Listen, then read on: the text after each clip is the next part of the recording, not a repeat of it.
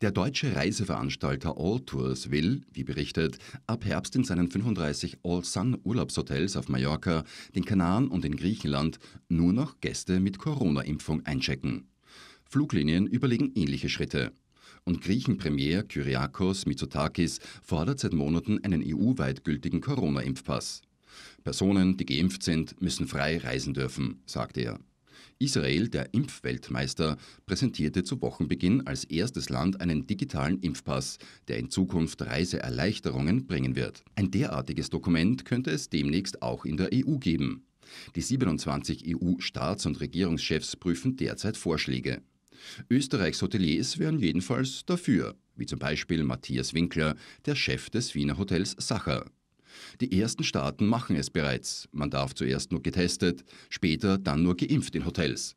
Auch Fluglinien setzen darauf, so die Argumente. Winkler ist überzeugt.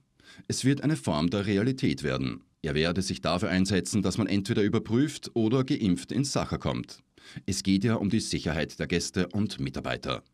Bei einem Tourismusstaat wie Österreich erwartet er da aber allgemeine Richtlinien für alle. Ähnlich sieht das der Kitzbühler Hotelier Christian Harisch.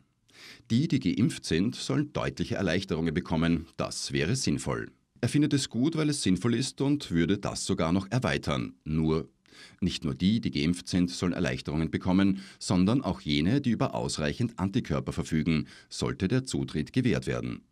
Und der digitale Impfpass ist ohnehin geplant. Wie in Israel bekommt man den Covid-Impfnachweis dann aufs Handy geschickt und fertig.